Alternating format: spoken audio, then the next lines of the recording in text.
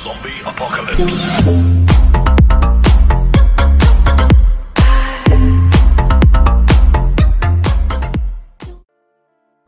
Hello guys, how are you? Welcome to another new video on my channel. In this video, I want to show you how you can download last version of the game loop and how you can choose best performance, best setting for low and and high PC. Please stay with me until the end of the video. Let's go. And be sure guys, please check the description of the below below of the video for download game loop. Okay, after download game loop, open it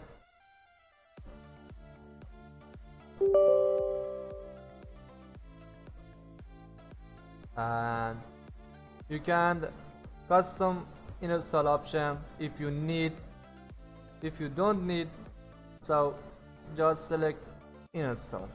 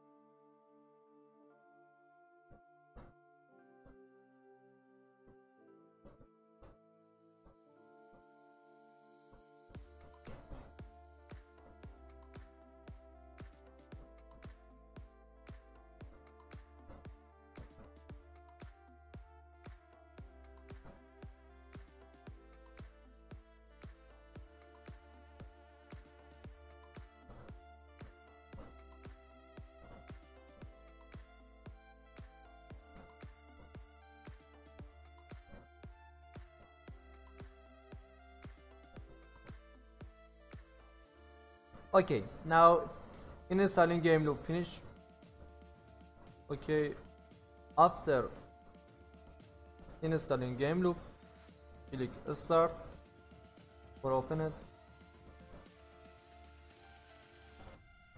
Okay guys after open it game loop go to your setting of the game loop here. Select setting do it like me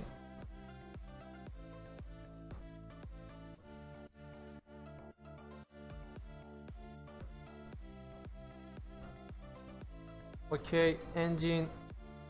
For low PC this option for low PC guys. Remember this option for low PC if you have low PC do it like me. Okay uncheck this option. And this option. Just DirectX. And choose automatic for any issues any crashing okay choose low DPI okay so choose DirectX uncheck this option and this option off this option memory automatic processor automatic resolutions choose this option. DPI choose this option. Okay model. Choose this option. And choose game choose this option. And this option after do it this option. It close your game loop. Restart your PC and open your game and enjoy your game. Okay now for high and end PC with good FPS performance. Again go to your setting of the game loop. Do it like me. Go to engine. Choose DirectX. If you have any problem with DirectX just do it auto. And pick all of them this option okay memory. If you have high memory like me I have a 20 gigabyte memory. I choose 8 gigabyte memory. If you have more memory you can choose 8 gigabyte like me or you can choose automatic. If you have a good processor good CPU like me I have this CPU go to your task manager go to performance. Select CPU right now you see cores I have four cores in my CPU so if you have four cores okay you must don't choose don't choose four cores you must choose two cores with any crashing any problem guys. If you have four cores choose two cores only in game loop. Be sure? Okay resolution you must select resolution depending on your system depending on your monitor. I select this option and DPI I choose this DPI if you have good PC like me go to model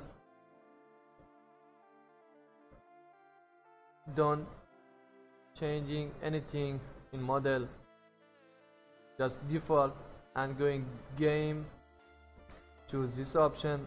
If you have again good PC don't choose this option. Just select this option. Be sure this option. Okay. Now you must select SMOS be sure to select SMOS after that you must select save. Okay guys. After making all this setting on your game loop for low PC and PC go your go in your desktop find shortcut of the game loop. Right click select open file location. Okay select. Okay go to go in this folder and this folder guys shader cache. It's very important this folder shader cache. Okay. Now open this folder shader cache select all this file control A shift and delete and click yes.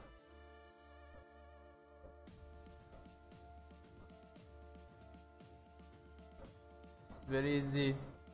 Don't worry. Okay guys. Thanks for watching this video. If you like it if you like this video please subscribe my channel comment and thanks. I see you in next video on my channel. For now goodbye guys. Zombie Apocalypse.